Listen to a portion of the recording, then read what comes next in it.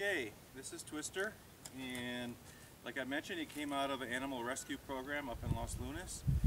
And I tried riding him a couple times, but uh, he was bucking and rearing too much. So I think the program for him is a lot of round pen work, and then we'll pack him.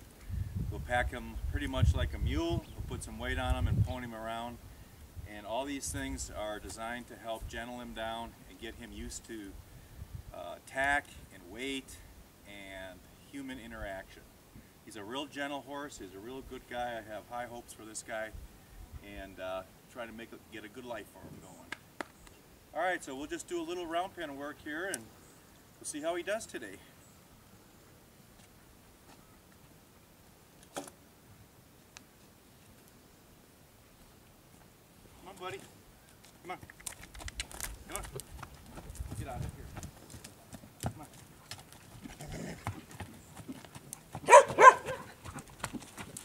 Come on. Up, up.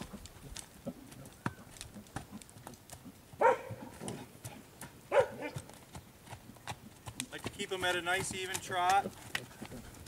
I look for some reaction, like maybe he's a little frustrated at doing this, and that's good. Whatever happens, happens. When I first had him in here, he was kicking at me quite a bit. But the last couple times in here, he's been a lot more gentle.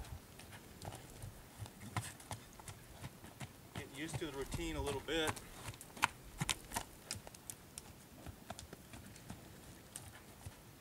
Horses like routine. They like a work schedule, they like an eating schedule.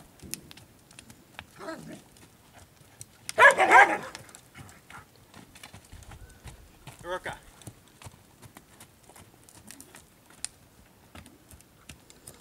Come on, pick it up.